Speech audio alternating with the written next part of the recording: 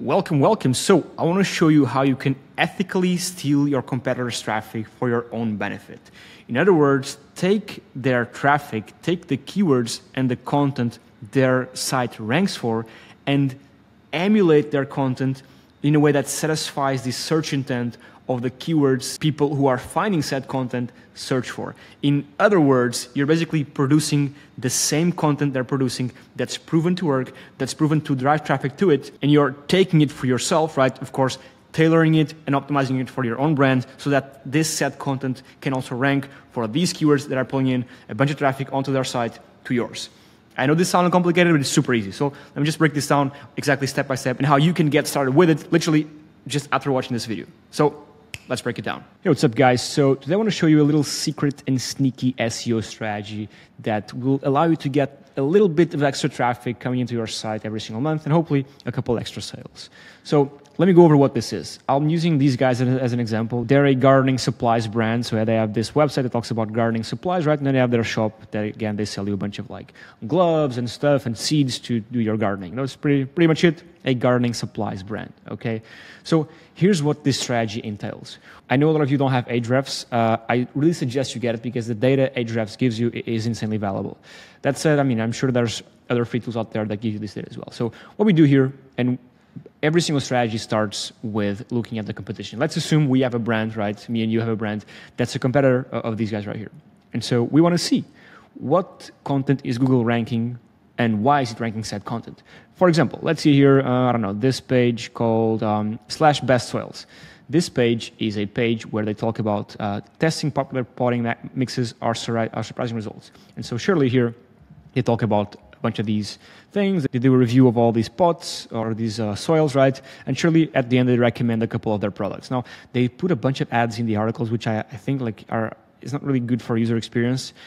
Which surely, I mean, they get a ton of traffic, but they would, I think, they would make more money if they just instead of having these ads right here, have ads to your own products. Makes much more sense to me. But surely there should be a reasoning behind why they're doing this. And so again, if you just scroll down, eventually it'll promote their products and have links to their uh, Shopify store where they sell uh, the products. So this is a great article, right? They are getting traffic, right? The article is ranking for almost 400 keywords, right? It's getting almost 3,000 in monthly, monthly organic search traffic. And by the way, the keywords it ranks for are somewhat bottom of the funnel, meaning someone searching for best potting soil, well, most likely they're looking to acquire or buy a some sort of potting soil. Okay, uh, best potting soil for vegetables. So this is great because as in bottom of the funnel keywords, you want to be as specific as possible. So they have product for modifier. So for vegetables, for um, I don't know nothing about the gardening niche, but you get my point. Right? So for vegetables, for maybe you can do for carrots, for fruits, for you know.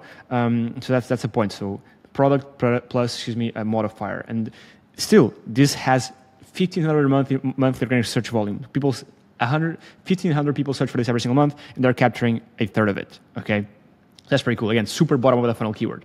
Uh, best potting mix. You can even do best potting mix for boom modifier. So these, most of these are, um, oh, there you go. Most of these are bottom of the funnel keywords, meaning the traffic that's coming in most likely is converting into sales.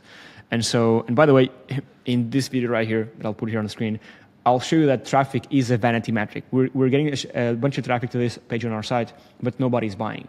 And this right here is the exact opposite. All this traffic that coming, that's coming in, I would assume a lot of it is actually buying because, again, this page ranks for a bunch of bottom of the funnel keywords. And so after doing this analysis, what would I do as a business owner? Well, I would take this, right?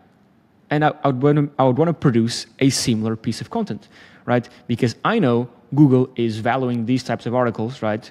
And it's showing them for people who are searching for all of these keywords right here. So this type of content that they built on this page is satisfying the search intent for people searching for these keywords, thus, of course, it's ranking and making the money.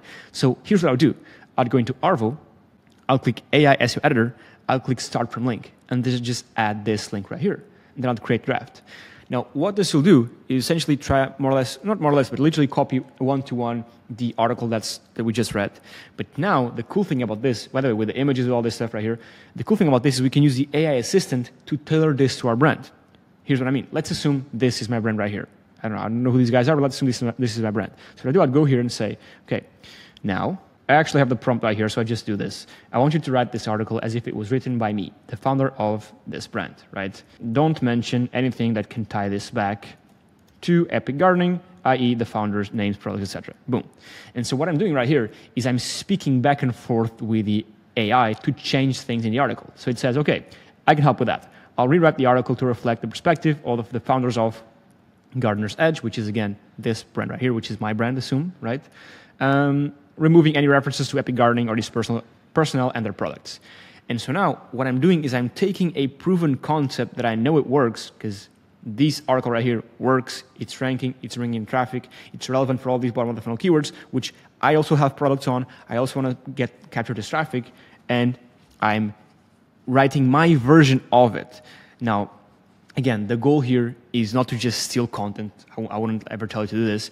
Is to steal the intent that the search, the people searching for this for this keywords, the, the search intent that led them to have this content be shown to them, right? We take that content and improve it, not only, of course, tailor it to our brand, but then improve upon it, right? You want to always be adding stuff. And so, but more on that later on. Again, as you see here, it took all the mentions from previously was we decided to make to take matters into our own hands at Epic Gardening Homestead, Epic Gardening founder Kevin, whatever. So you remove all this stuff and it added just this. Okay, so in multiple in 29 instances, I can keep scrolling down right here, and you will see like even the product names. This this product called Epic Grow Bags. We remove the name of the product and add our own product. So again, remove the founder names, remove the product, remove every single thing, and so boom, accept. Now everything was changed. It's pretty cool, right? Again, now I want to make sure that we add more info to this. We just don't, we don't just want to be stealing info, of course. Now, as of today, as of uh, this day right here when this video is uploaded, you can't yet tell it to improve your article based on the competition. So in, in the future, you'll be able to feed it all of your competitors automatically. We'll, we'll scan through the competitors for you, right? We'll be able to see, okay, out of all these competitors, which ones of them, which which of them are producing content like the one you have here on screen, right? And what do they talk about? Okay, they talk about topic A, B, C, D, but they don't, don't talk about topic F or G. So now we know that our competitors talk about all this stuff, so we'll talk about all this stuff. In other words, our article will contain all, all this stuff, plus these right here and these right here that they don't talk about, that people are also searching for. And so we'll add these into our article to make sure that we have the best piece of content that satisfies as much of the people's needs as possible. Hopefully this made sense. But as of now, it doesn't do that just yet. Still, you can sort of do it manually, okay? Um, as in saying, now add a paragraph titled, What's the best soil for my garden? Where you talk about the different types of gardens there are, and at the end, you recommend the Soil 9000 by my own brand. So again, it makes it useless to use ChatGPT because you can go back and forth right here, and this has all the all the context of your brand. You can say to add links, add a link to Wikipedia, add a link to this page, add a link to that page, add an image here, add a video there, right? And by the way, speaking of video, I can just go on on, on YouTube, or I can just take this video, for example, just take the URL, and boom, there you go, the video is there. So again, let, let, me, let me give it a second for it to think and, and do all this stuff and, and, and, add the paragraph and do the changes. So small little issue here, uh, as I added the video in, uh, it broke the system. Again, this is still in beta, so quick tip, don't add videos while it's thinking. So let me just give it the same prompt again. Now add a paragraph titled, whatever. Again, it, it, even though it, it uh, I had to refresh this, it still had into account my old previous prompt. So there's no mentions about the other brand. It's only mentioning my brand, etc. So I just not touch anything and wait for it to think to add this new paragraph and that recommends my, my product. So let's give it a few seconds. While that's going on, we built this AI assistant in tandem with these uh, in article editing. So you can add links right here. You can sprinkle in your keywords. You can rewrite this, make it longer, make it shorter, make a list, make a table. You can add custom prompts, but more on that later on. Okay, I've added this. Let's see, where is it? Boom, there you go. What's the best garden soil for my garden? And choosing the best soil, whatever, blah, blah, blah. And yeah, we recommend, boom, perfect, accept. Okay, now what I want you to do is to, okay, now link the, the anchor to soil gardener 9000.com. I don't know, right? You, again, you can add the links. You can do all this stuff like within the, the AI assistant. The goal of this AI assistant is to be literally your assistant into adding this stuff. Now, might be faster just to go here and add the link manually, but if you want to add multiple links or if you want to add more complex stuff, using the assistant might, might be a better option. Okay, that's pretty cool. So that's that. Again, the point here is that you can speak with the article and change things around. You can also change the images. You can anything you want, you can change. And in terms of SEO, the good thing about this is that you're taking a proven concept, right? You're taking a proven concept of content, of information that Google, right, finds relevant for people searching for these keywords. So people search for these keywords where and, and, Google thinks this is the content that best satisfies the search intent of people searching for these keywords.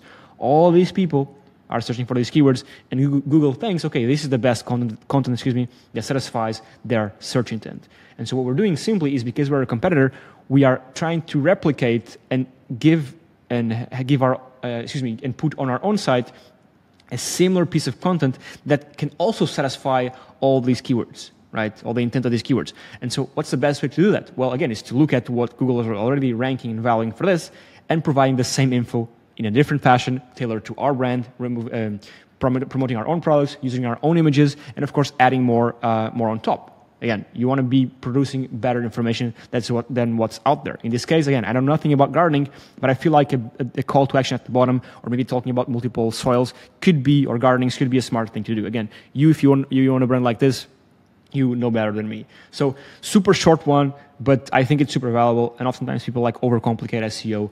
I honestly, think one of the easiest like strategy of, of strategies of SEO, excuse me, is just to look at what's working and emulate it in a better fashion. So yeah, give it a go. And by the way, if you want to try uh, Arvow, go to arvow.com. You can use the coupon code secret10 for 10% off. Um, or if you want to have an even better deal, you can go to arvow.com slash academy. And what this is, is it gives you a one year access to Arvow, like a full year access to Arvow, 12 months, plus access to the AI Search Academy, which includes a bunch of courses and training on how to properly do SEO and all these new strategies that I come up with every single week. So yeah, I'll leave links for this down below in the description. And last one, I guess, one final call to action. If you don't have time, right, if you just like want me to do your SEO for you, you can go to arvow.com slash call. I'll leave a link down in the description. What this is, is basically we use Arvow, we use our tool for you, and we guarantee you get a 25% increase in non-branded search traffic over 180 days, or you don't pay. Actually, we can even cut this to 90 days. So we use the tool for you, and we guarantee you get 25% more traffic, or you don't pay.